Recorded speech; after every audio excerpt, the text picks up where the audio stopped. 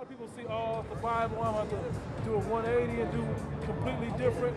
Well, you're gonna be different, but you're not gonna be It's completely different. smarter. It's gonna make you wiser. better. They wise. And you're gonna Every time I go read through it, some shit. I feel like I'm getting wiser when I do read it. You know? You're gonna you gonna go through some some some bad seeming shit, but it's gonna make you better, and then he- then he'll might throw you a bone and some good shit happens to you. Yeah. You know, like that that happens all the time. When, when good stuff happens, we be like, ah, most high might be about to jack me up or something, man. Or some bad shit happens. Instead of just being damn down on my luck, pray about it. You may fast or whatever you do about it.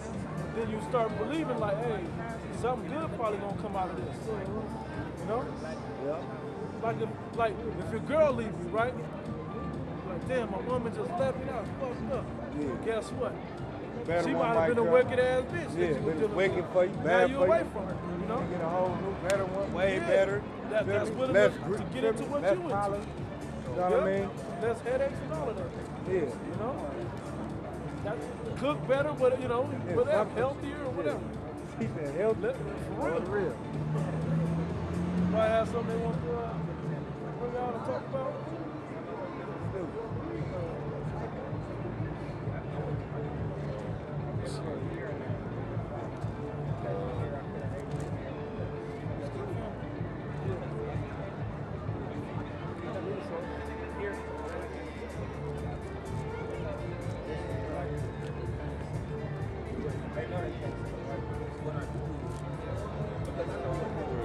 Sirach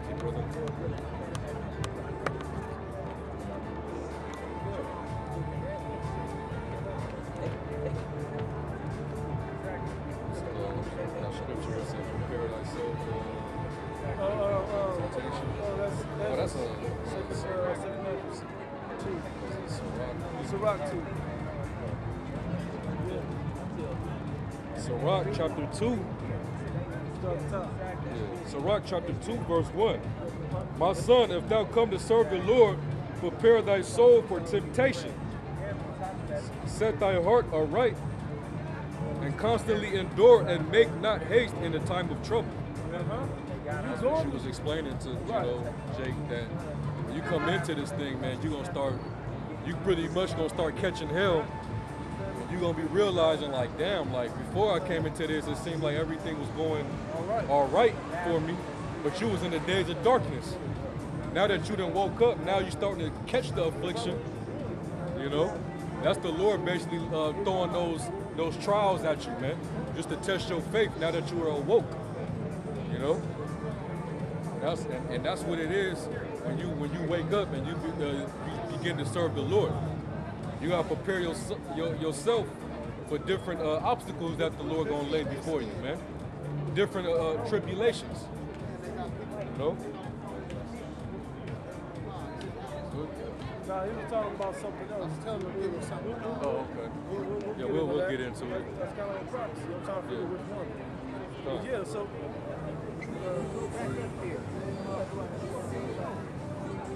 So like the second chapter?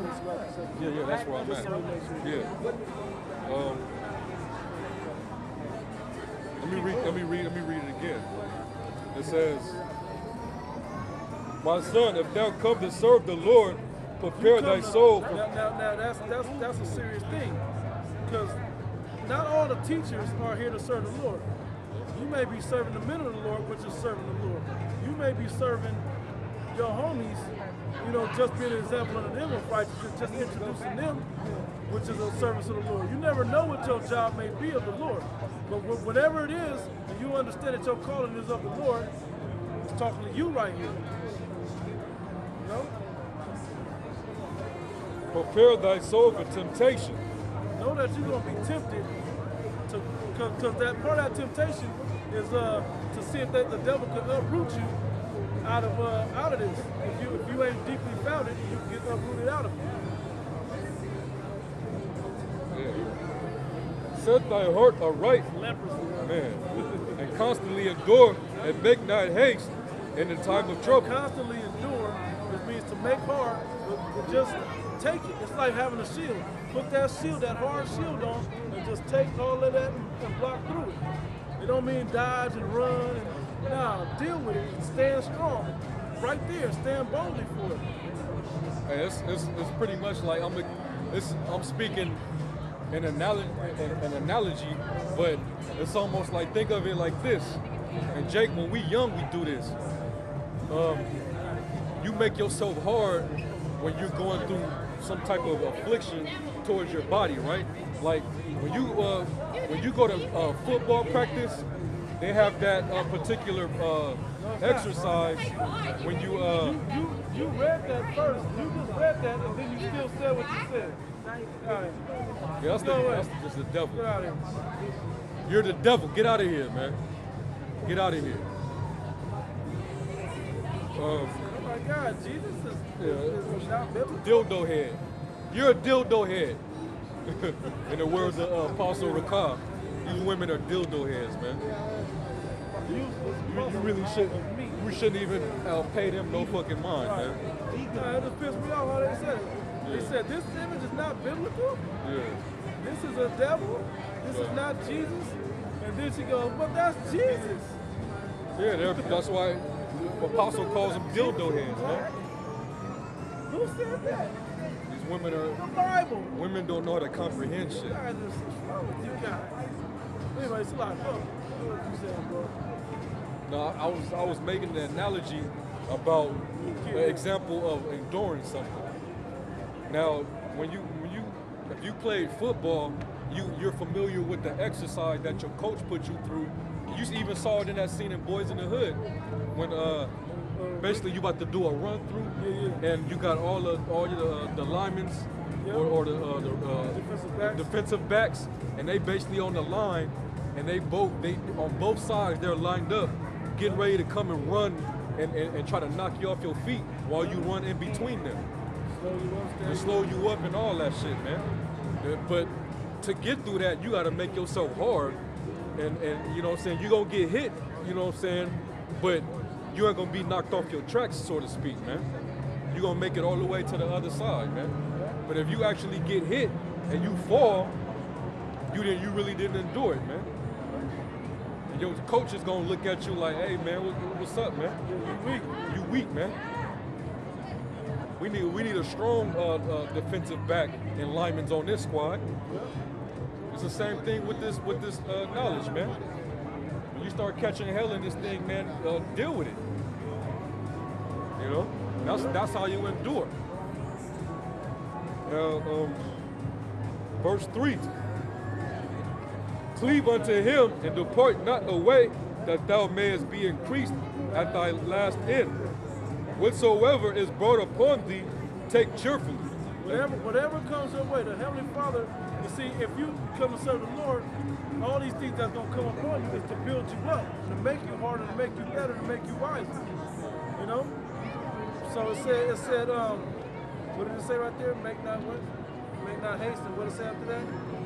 Um, it says, Cleave unto him and depart not away, that thou mayest be increased at thy last end. Because what do you increase with? That knowledge, wisdom, and that hardness that comes with enduring through all of that. And the patience of not making haste to try to get out of it. Because pace means to, uh, to suffer. After you suffer through something, you, you don't make haste to hurry up and get out of it. You deal with it, and once it's over, you, you're made better by that. Because now, like you said, you're wiser, you're stronger, or whatever. Whatsoever is brought upon thee, take cheerfully, and be patient when thou art changed to a lower state. Because you're going to be changed to a lower state in this society. Yeah. It's better to be changed into a, a righteous lower state than, than a lower state that everybody gonna catch by the end of this thing. The day of the Lord, man, gonna, everybody gonna be in a lower state. Everybody's gonna be hungry and, and, and in famine unless you took the chip. And if you took the chip, you're gonna be a little. You're not gonna be low as as early, but guess what? You're gonna be even lower because you're gonna feel the burn of that missile, man. You probably gonna starve before that and then feel the burn of that missile. Yep. That was it on that?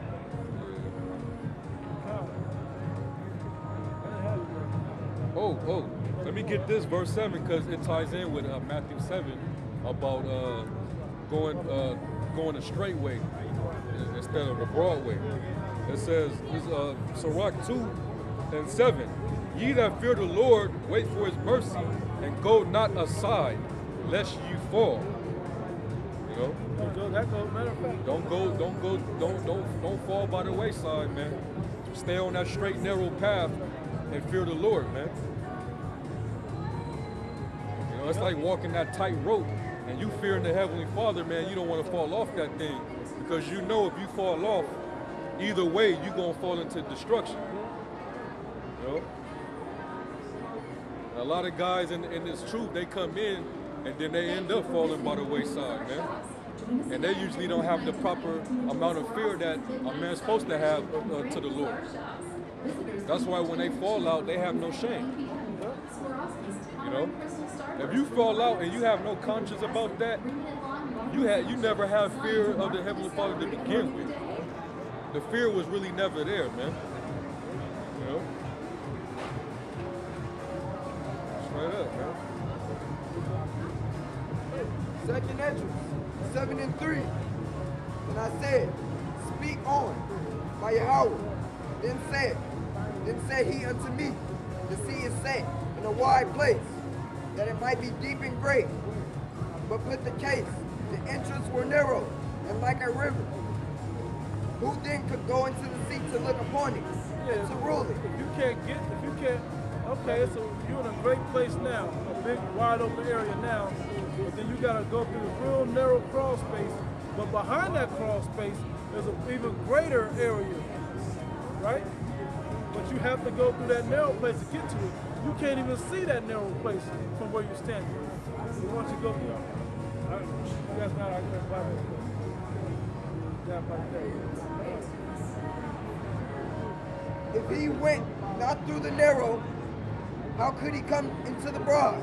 If you didn't go through the little narrow area, uncomfortable and uh, you know getting dirty and, and low and all of that on the ground, tasting dust and all of that, or, or if you cross that crawl space, snakes and all types of shit to be down there. If you can't get through that, by the time you get through that, the whole wonderful shower and, and, and big mansion and whatever else analogy you want to make that's waiting for you on the other side, you don't deserve to get through that. That's like it's gonna say that's what it's like entering into the kingdom of heaven. There is another thing. That's an analogy. There's another thing. A city is builded and set upon a broad field, and is full of all good things. Hey, just to tie this in right quick, the city is so broad in the kingdom of heaven is that it spans throughout different galaxies. And you will be able to travel to those other galaxies. That's how broad when you're in righteousness is gonna be for us. Right now we just have we can't get up the street in the ghettos. Right now, that's the narrow that we're in now. But a lot of you thinking that narrow is a is, is a broad way to not, not to go in that uh, not to go uh, into righteousness, to that real narrow righteous way. But when you see what's on the other side, if you if you niggas and spicks out here knew what was on the other side of this life, we're out here trying to tell you what's on the other, what's coming in, at the end of this life and what's on the other side of this life. Those two things should have you up here trying to get this word, or out there teaching to give others that word. That's right. That's what should be happening. Because that's what this is. That's what this analogy right here is about. The entrance thereof is narrow, and it's set in a dangerous place to fall. It's a dangerous place. To, it's a dangerous way to walk, a dangerous way to live to get into the kingdom of heaven. There's pitfalls all the time. The brother right now was talking about how they, he got feds following with a, with a, what do you call him, brother? He go up here and listen all the time. Know, he, he's telling, hey, is after me right now. You know, it's a dangerous way. All types of shit. Demons fuck with us all the time. Only because the spirit of Yahweh Hashem Yahweh Shai has angels on us to protect us. Right. That might be the difference. But that is the difference for him why he's still here today. Because if it was one of you other two-third niggas, a regular two-third nigga that ain't listening to this, they might, like he admitted himself, oh, they probably already took me out if I wasn't trying to seek